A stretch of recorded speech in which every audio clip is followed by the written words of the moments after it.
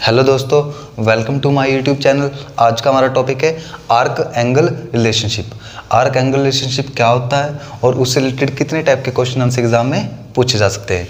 आइए देखते हैं। जैसे जैसे सर्कल है, ठीक है दोस्तों? ये सर्कल है।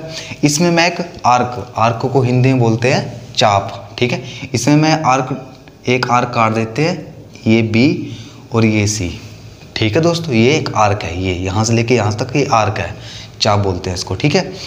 और अगर मैं ये सेंटर है सर्कल का, अगर मैं यहाँ से एक रेडियस ड्रा करूँ, ये स्मॉल आर ठीक है दोस्तों? तो यहाँ से ये भी सर्कल की रेडियस है, इसकी वैल्यू भी क्या आर है? ठीक है दोस्तों? और ये जो यहाँ से यहाँ तक, ये एक एंगल बना रही है, ये एंगल मान लेता हूँ थीटा है, ठीक है? और बी से सी तक, यहाँ की लेंथ क्या है? एल है, ठीक है? तो आर्क एंगल रिलेशनशिप क्या हो गया? ये आर्क है, ये सॉरी ये आर्क है, ये मेरी रेडियस है और ये एंगल है। इन तीनों के बीच में रिलेशन क्या होता है? Theta is equal to L by R तो ये इनके बीच में क्या होता है? रिलेशन होता है। ठीक है दोस्तों? और थीटा हमेशा क्या होता है? रेडियन फॉर्म में होता है। ठीक है? आइए अब देखते हैं इससे रिलेटेड कितने टाइप के क्वेश्चन हमसे एग्ज़ाम में पूछे जा सकते हैं। आइए देखते हैं। आइए क्वेश्चन देखते हैं। क्वेश्चन पढ़ देता हूँ। Find in degree the angle मुझे एंगल फाइंड आउट करना है ठीक है दोस्तों? डिग्री में. The subtended at the centre of a circle हाँ जी एक कोई सर्कल है उसके सेंटर में यहाँ पे कोई एंगल बनेगा ये मुझे फाइंड आउट करना है ठीक है? और जिस सर्कल का जो सर्कल है उसका डायमीटर क्या दे रखा है मुझे? डायमीटर डायमीटर को स्मॉल डी लिख लेते हैं ये क्या दे रखा है मुझे? 50 सेंटीमीटर ठीक है दोस्तों? And the arc of length arc of length arc of length वो लेंथ क्या होता है? एल ठीक है दोस्तों? ये 11 सेंटीमीटर, ठीक है? और मुझे फाइंड आउट किसकी वैल्यू करनी है? थीटे की वैल्यू ठीक है? फार्मूला होता क्या है? जैसे फार्मूले में तीन चीज़ें दो चीज़ें दी होती हैं, तीसरी चीज़ पूछ ली जाती है। आइए देखते हैं क्वेश्चन करते हैं। हाँ जी तो फार्मूला थीटा टू किसके बराबर होता है? एल बाई आर के बराबर। हाँ जी एल की वैल्यू क्या है? ग्यारह। अब आर की वैल्यू क्या है? मुझे क्या दे रखा है? डायमीटर डायमीटर डायमीटर से आर कैसे निकालते हैं? उसके बट्टे में दो कर देते हैं। तो क्या आ गया यहाँ पे? ट्वेंटी फाइव ठीक है? तो थीटा की वैल्यू क्या गई? ग्यारह बटे पच्चीस। ठीक है? तो ये क्या है हमेशा? मैंने आपको बोला था, जो थीटा आएगा हमेशा क्या आएगा? रेडियन फॉर्म में आएगा। ठीक है? पर मुझे किस फॉर्म में चाहिए? मुझे तो आंसर क्या चाहिए? एंगल डिग्री में चाहिए। हाँ जी, और मैंने आपको बताया था, ये क्या एक रेडियन में है, और रेडियन से डिग्री में कैसे कन्वर्ट करते हैं? 180 बटे में पाई ठीक है दोस्तों? 180 बटे पाई की वैल्यू रख देते हैं यहाँ पे 22 मल्टीप्लाई सात, इसको सोल्व कर लो। हाँ जी, ग्यारह दुणे बाईस और नब्बे दुणे एक सौ अस्सी, ठीक है? हाँ जी पंजू पंजे पच्चीस, ये पाँच पे गया, पंजू पंजे पच्चीस और ये पाँच एकम पाँच एकम पाँच, चार ज़ीरो पंजो अठे चालीस, ठीक है दोस्तों? ये कितना आ गया? अड़सठ छप्पन, पाँच, सात और पाँच, बारह, एक सौ छब्बीस बटे पाँच आ गया। ये किसमें आ गया आंसर? डिग्री में आ गया। ठीक है? मैंने आपको पिछले पार्ट में बताया था, इसको ऐसे नहीं लिखेंगे। इसको सोल्व करके लिखेंगे। इसको सोल्व करेंगे तो इसको सोल्व करने के बाद क्या आएगा? इसको सोल्व करने के बाद इस 126 को पाँच से डिवाइड करते हैं तो ये आता है। पच्चीस पंच, एक सौ पच्चीस और एक एक सौ छब्बीस बटे पाँच। एक सौ छब्बीस बटे पाँच डिग्री है। ये क्या आ गया?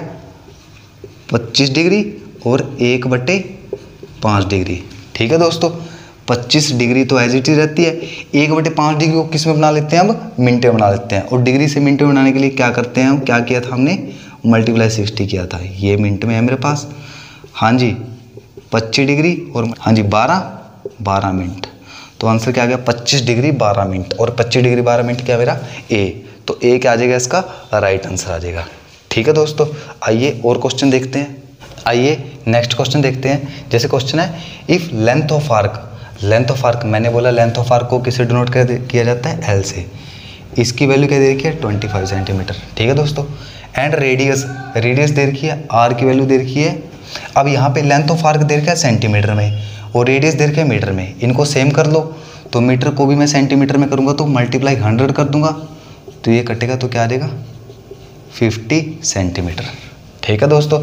और मुझे वैल्यू फाइंड आउट करनी है थीटा की। थीटा की वैल्यू क्या होती है? Theta is equal to L by R होता है, ठीक है? एल की वैल्यू क्या है? ट्वेंटी फाइव और आर की वैल्यू क्या है? फिफ्टी हाँ जी, ये कट गया वन बाय टू ये वन बाय टू क्या आया? ये वन बाय टू डिग्री आया? नहीं। हमेशा एंगल किसमें आता है? रेडियन फॉर्म में आता है। ये वन बाई टू क्या आया? रेडियन में। ठीक है दोस्तों? अगर आपको आंसर रेडियन में दे रखा है तो क्वेश्चन यहीं पे खत्म हो जाएगा। अगर आपको डिग्री में दे रखा है तो रेडियन से आप डिग्री में कन्वर्ट कर सकते हैं। ठीक है दोस्तों? आइए और क्वेश्चन देखते हैं।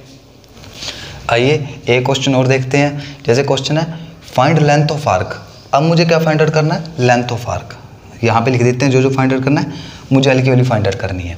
ठीक है दोस्तों? और मुझे क्या क्या गिवन है? रेडियस आर क्या है मेरे पास वैल्यू टेन सेंटीमीटर ठीक है? And which subtended an angle of 45 degree और थीटा की वैल्यू क्या है मुझे।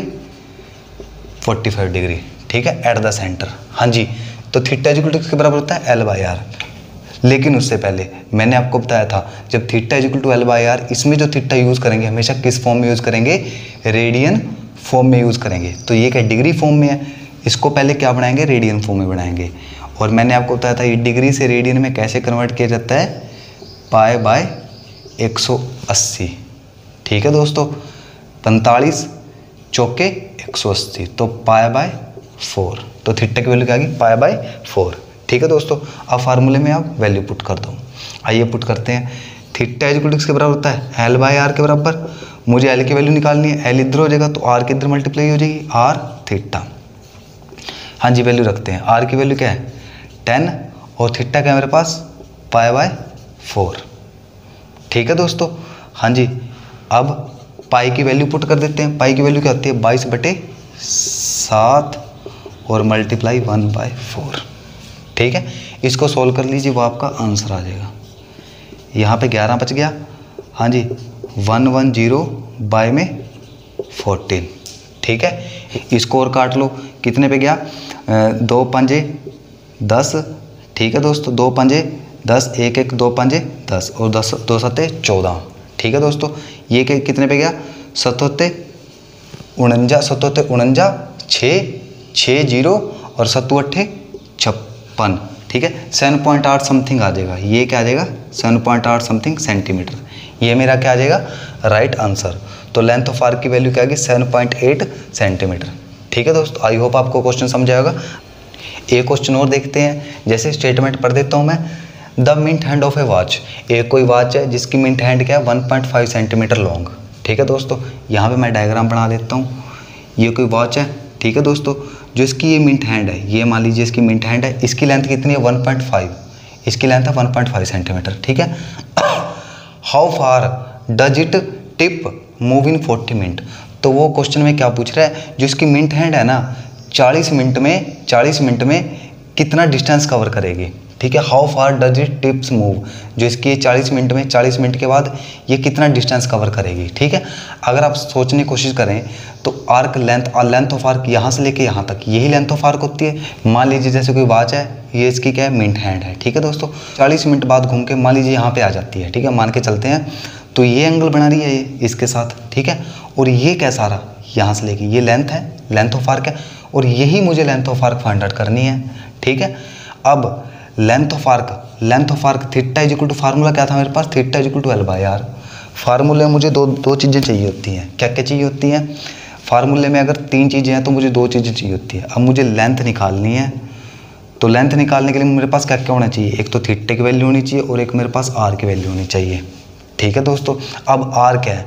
ये टोटल मिनट हैंड है तो इसकी लेंथ क्या है? 1.5 सेंटीमीटर ये मेरे पास आर है। आर क्या है मेरे पास? 1.5 सेंटीमीटर ठीक है दोस्तों? आर तो मेरे पास आ गई, लेकिन मेरे पास थीटा नहीं है। अब थीटा कैसे फाइंड करेंगे? आइए देखते हैं। हाँ जी थीटा कैसे फाइंड करेंगे? अगर आप सोचें, अब ये जो वॉच है, ठीक है दोस्तों, ये सर्कल शेप में होती है, ठीक है? और सर्कल शेप का टोटल एंगल कितना होता है? 360 डिग्री का होता है, ठीक है? और ये मिनट हैंड है। मिनट हैंड इसका पूरा चक्कर पूरा चक्कर कितने मिनट में लगाती है? साठ मिनट में लगाती है। तो यहाँ से मैं लिख सकता हूँ, साठ मिनट में कितना डिग्री घूम रही है सुई? तीन सौ साठ डिग्री घूम रही है। ठीक है दोस्तों तो एक मिनट में कितना घूमेगी? तीन सौ साठ बटे साठ। ठीक है दोस्तों, एक मिनट में इतना घूमेगी, पर मुझे निकालना कितना है? चालीस मिनट में। तो चालीस मिनट में कितना घूमेगी? तीन सौ साठ बटे साठ गुणा में चालीस। ठीक है दोस्तों, इसको काट दो। ये क्या है? दो दूनी चार और दो तीय छः। ठीक है दोस्तों हाँ जी, तीन कम तीन तीन दूनी, और ये आ गया 240 डिग्री। ठीक है दोस्तों? 240 डिग्री आ गया। पर मुझे किसमें चाहिए एंगल मुझे एंगल चाहिए। अब जब कई फार्मूले में एंगल यूज़ करते हैं, मैंने आपको बताया था रेडियन फॉर्म में करते हैं। तो इसको रेडियन फॉर्म में कन्वर्ट कर लेंगे। डिग्री से कैसे करते हैं? डिग्री से कैसे करते हैं? पाए बाय एक सौ अस्सी। इसके साथ ये कट गया। हाँ जी, कितने पे गया? तीन अट्ठे चौबीस और तीन छः अठारह। हाँ जी, दो चौके आठ और दो तीन छः तो एंगल क्या आ गया? फोर पाए बाय थ्री और ये रेडियन होता है। ठीक है दोस्तों? तो एंगल की वैल्यू क्या आ गई? फोर पाई बाय थ्री मैं यहाँ पे लिख देता हूँ। फोर पाई बाय थ्री ठीक है दोस्तों? मैं इसको मिटा देता हूँ। आई होप आपको समझाया होगा। तो अब एंगल की वैल्यू भी आ गई। अब बस, मुझे क्या? एल की वैल्यू निकालनी है? फार्मूले थीटा इजिकल के बराबर होता है। मैं लिख देता हूँ। थीटा इजिकल का होता है? एल बाई आर और मुझे एल की वैल्यू निकालनी है तो आर थीटा हो जाएगा। ठीक है? हाँ जी थीटा की वैल्यू क्या है? फोर पाई बाय थ्री और आर की वैल्यू क्या है? One point five centimetre. ठीक है दोस्तों? इसको सोल्व कर लीजिए। हाँ जी, इसको सोल्व करेंगे तो क्या आएगा? सोल्व कर लेते हैं इसको। Four multiply pi by three multiply पंद्रह बटे दस। ठीक है दोस्तों? तीन पाँच पंद्रह और पाँच दूनी दस और दो दूनी चार। तो ये क्या आ गया? Two pi. ठीक है दोस्तों? और पाई की वैल्यू रख देते हैं। पाई की वैल्यू क्या होती है? बाईस बटे सात भी होती है और थ्री पॉइंट वन फोर भी होती है। आई होप आपको पता होगा। इसकी मल्टीप्लाई करते हो तो क्या आएगा? Six point two eight centimetre ठीक है? और six point two eight centimetre का ए तो ए क्या आ जाएगा इसका? राइट आंसर ठीक है दोस्तों? तो इस तरह से आप आर्क एंगल रिलेशनशिप से रिलेटेड किसी भी टाइप का क्वेश्चन इजीली कर सकते हो। आपको सिर्फ़ ये बात याद रखनी है, जो थीटा यूज़ होगा वो हमेशा रेडियन फॉर्म में यूज़ करना है। ठीक है दोस्तों? आई होप आपको यह समझा होगा। Thank you very much